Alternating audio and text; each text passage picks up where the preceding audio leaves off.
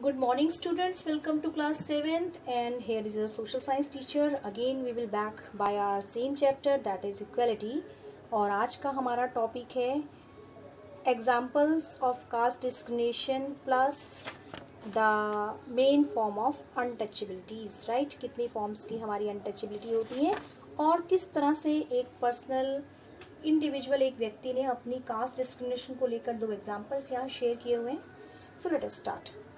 तो आ, कल मैंने आपको बताया था बेटा क्लास में कि क्लास डिस्क्रिमिनेशन में जो है वो कास्ट डिस्क्रिमिनेशन से काफ़ी सारी जो प्रॉब्लम्स हैं वो क्रिएट हो जाती हैं जैसे deprivation mental block humiliation inferiority complex escapism low self esteem lack of confidence poor performance crisis and conflict anger and dissatisfaction ये मैंने आपको कल एक्सप्लेन किया था अपनी वीडियो में। तो आज हम अब बात करते हैं कितने टाइप की अनटचबिलिटी होती है और वो किस तरह से लोग प्रैक्टिस करते हैं राइट तो 1999 में एक जर्नलिस्ट है, उनका नाम है पी सायनाथ। उन्होंने एक सीरीज़ लिखी है न्यूज़ की न्यूज़ रिपोर्ट्स की, जिसमें उन्होंने अपने बहुत सारे एक्सपीरियंसेस जो उन्होंने स्टडी किए होंगे, उनके बारे में डिटेल लिखी हुई है कि किस तरह से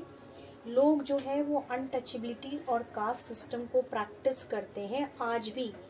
आज भी मतलब जब ये चीज़ मेंशन कर दी गई है कॉन्स्टिट्यूशन में कि कोई भी इस टाइप की प्रैक्टिस नहीं कर सकता और ये एक पनिशेबल क्राइम है स्टिल जो लोग गाँव में रहते हैं या अर्बन एरिया में रहते हैं या इवन शहरों में भी, वहाँ पर लोग आज भी इस प्रैक्टिस को कंटिन्यू किए हुए हैं। तो उन्होंने अपने एक्सपीरियंस से कुछ ऐसी जगह बताई हैं जहाँ पर जो लोअर कास्ट है या जो शेड्यूल कास्ट है, उनको बहुत जगह जो है वो डिस्क्रिमिनेट किया जाता है, जैसे कि at tea stall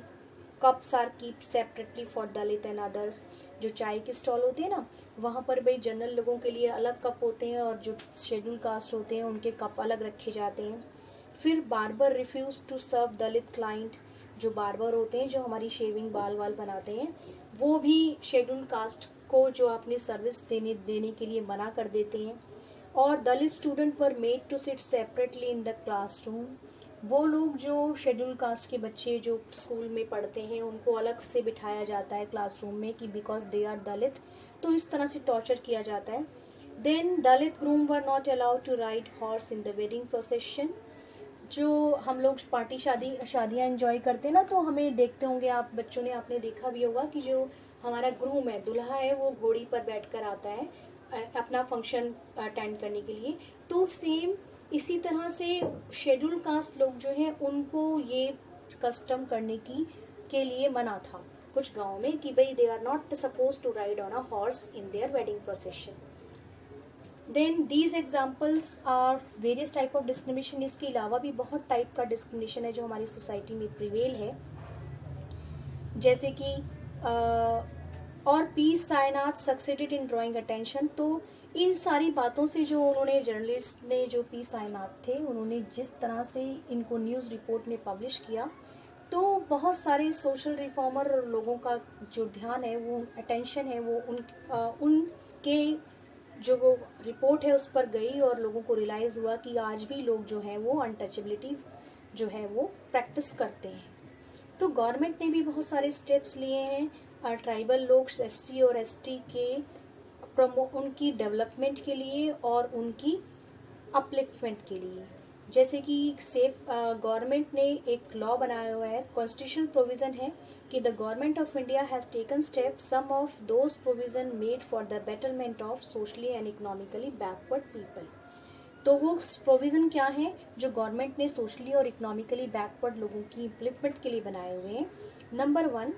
कि रिजर्वेशन इन गवर्नमेंट जॉब कि गवर्नमेंट जॉब में इन लोगों को रिजर्वेशन दी गई है 15 परसेंट फॉर शेड्यूल कास्ट और 7.5 percent for schedule tribes plus 27 percent for other backward classes